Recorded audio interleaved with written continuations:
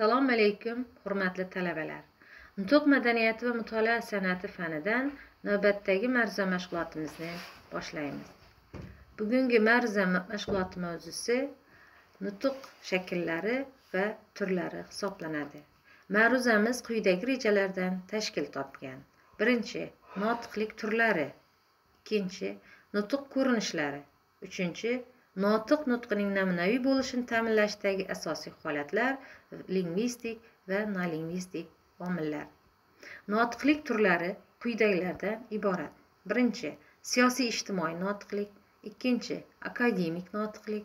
Uchinchi sud notiqligi. To'rtinchi ijtimoiy maishiy notiqlik hamda beshinchi diniy notiqlik. Siyosiy ijtimoiy va siyosiy iqtisodiy mavzudagi ma'ruza shu mavzuga oid muayyan axborotlarni yoritib tinglovchilarni ulardan xabardor etish siyosiy ijtimoiy va siyosiy iqtisodiy sohalarda keng fikr yuritishga o'rgatishdan iborat. Bunday mavzudagi ma'ruzalarda muammolar keng ko'lamda va aniq faktlar misolida yoritiladi. Ikkinchi hisobot ma'ruzasi. Rahbar shaxsining biror tashkilot jamoaning ma'lum bir muddat orasidagi faoliyatiga oid rasmiy hisoboti. Bunday hisobot ko'zlangan reja amalda bajarilgan ish hajmi va mazmuni erishilgan yutuqlar nuqsonlar va istiqbolda ko'zlanadigan rejalarning real faktlar asosida qilinadigan tahlilidan iborat. Uchinchi siyosiy nutq.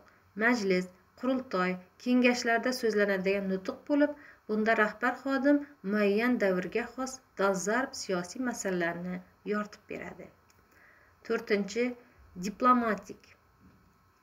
Nutq davlat ahamiyatidagi rasmiy nutq bo'lib xalqaro mavqega egaligi bilan xarakterlanadi diplomatiya har bir davlatning tashqi siyosatini amalga oshirish uning chet mamlakatlar bilan aloqa qilish sohasidagi faoliyati bo'lib shu jarayonda u yoki bu davlat nomidan so'zlanadigan barcha siyosiy iqtisodiy madaniy harbiy mavzulardagi nutqlarga diplomatik nutq deyiladi. Beshinchi siyosiy axborot.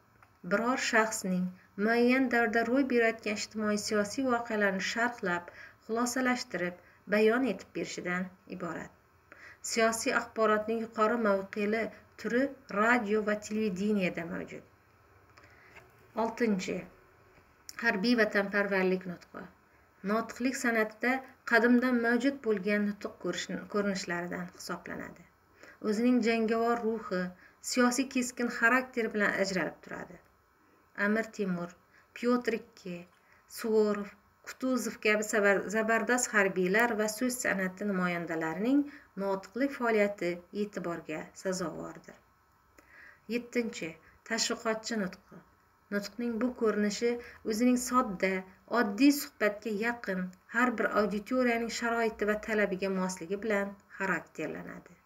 Mavzu turlicha suhbat o'tkazish ham turli usullarda o'tkazilishi mumkin. Sakkizinchi ilmiy ommabop nutq o'ziga xos xususiyatlarga ega. Nutq usulini sun'iy ravishda bir qolipga solib bo'lmaydi. To'qqizinchi ilmiy ommabop nutqlar muayyan talablarga javob berishi ya'ni har bir ma'ruza ilmiy asosga va g'oyaviy yo'nalishga ega bo'lishi aniq dalil va hujjatlarga asoslanishi masalani tarixiy jarayonga bog'liq holda yoritishi qiziqarli va ixcham bo'lishi shart. Nutqning ikkinchi turi akademik nutqlik hisoblanadi. Akademik nutqlik o'zining akademizmi ya'ni ilmiyligi bilan yuksak talabchanligi bilan xarakterlanadi. Akademik notiqlikni eng muhim xususiyati ilmiy dalillarning kuchliligi va uning muayyan fan tarmog'ining mohiyatini yechishga bag'ishlanganligidir. Biror fanga xos bo'lgan barcha asos va qonuniyatlar to'la ilmiy tarzda yoritib beriladi. U bir necha ko'rinishlarda namoyon bo'ladi.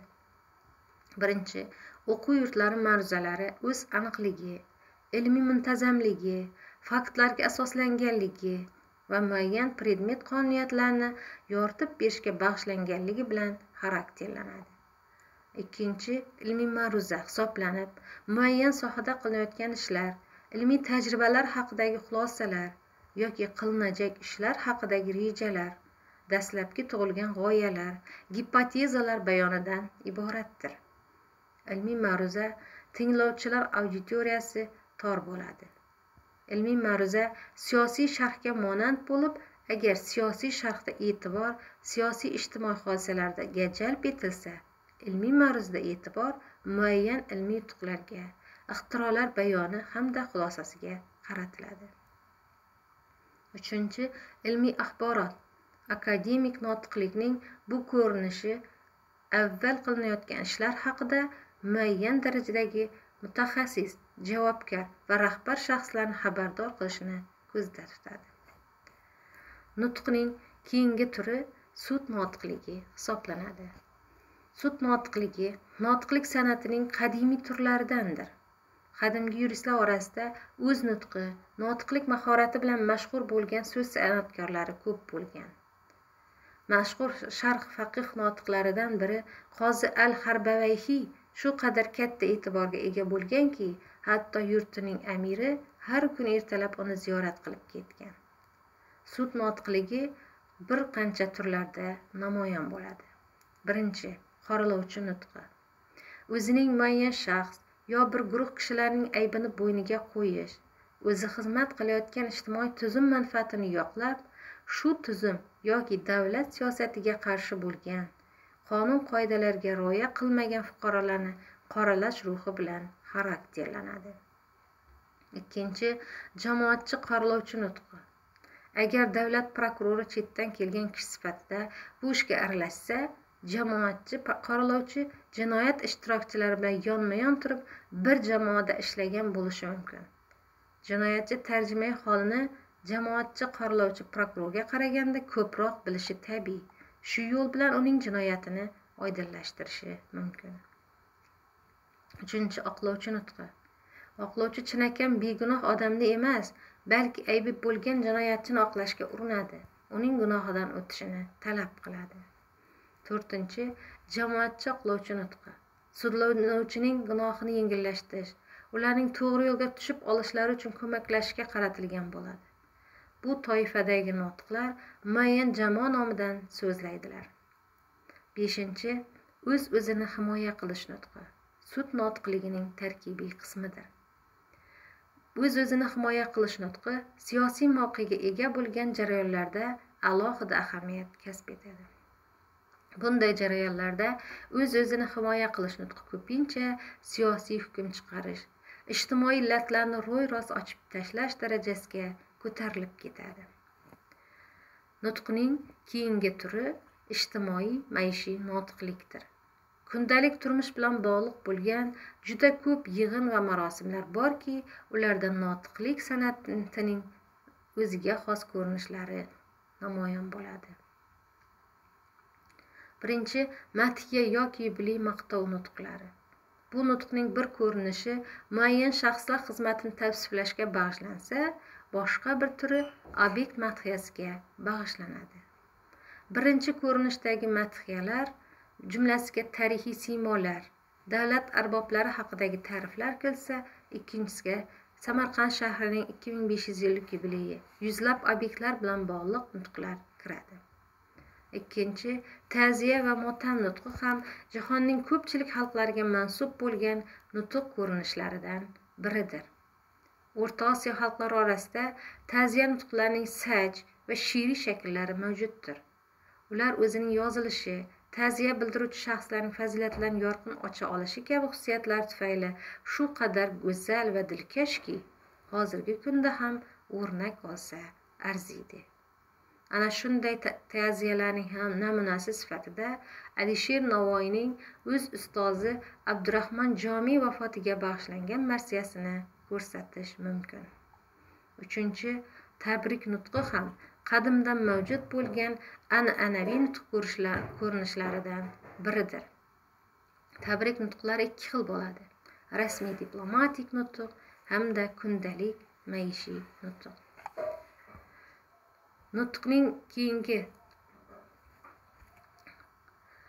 turidan o'tishda turiga o'tishdan oldin ushbu ijtimoiy maishiy notiqlik haqidagi fikrlarni davom qildiramiz. Kundalik maishiy nutqlar jumlasiga ziyofatlardagi tabrik nutqlari to'y hashamlaridagi muborakbodlar kabi nutqlar kiradi.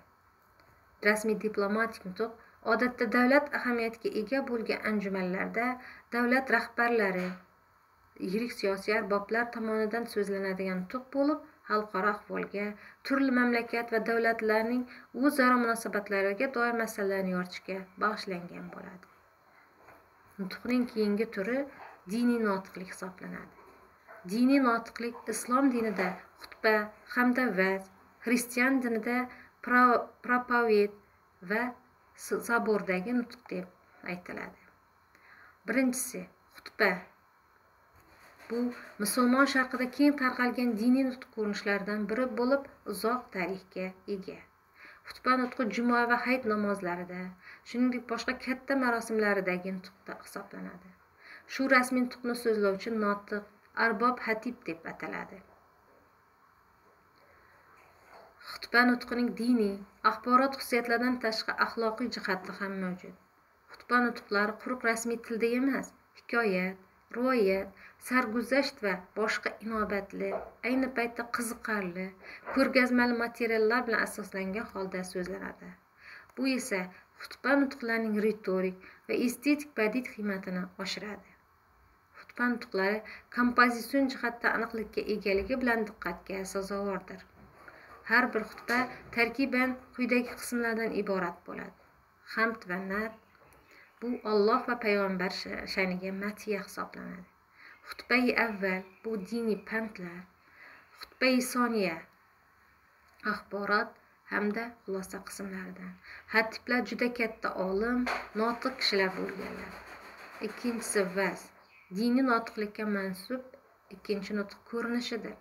Vazlar asosan keng ommaga mo'ljallanganligi uchun xutbaga ko'ra ancha erkin. Badiiylik va estetik emotsional ta'sirchanlik tilining sodda va ravonligi bilan xutbadan farq qiladi.